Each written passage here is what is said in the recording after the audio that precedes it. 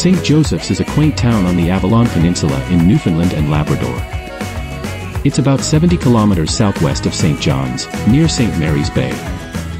St. Joseph's has a rich history, especially with its Roman Catholic Church. Built in 1898, this church was once the cathedral of the Diocese of St. George's from 1904 to 1946.